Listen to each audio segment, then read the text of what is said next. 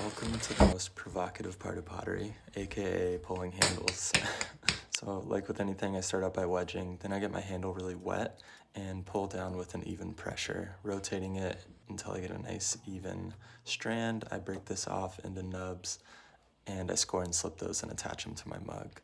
I'll dip these in water and then I continue to pull it down until I have a nice even handle attaching to the bottom, kind of shaping it as I go.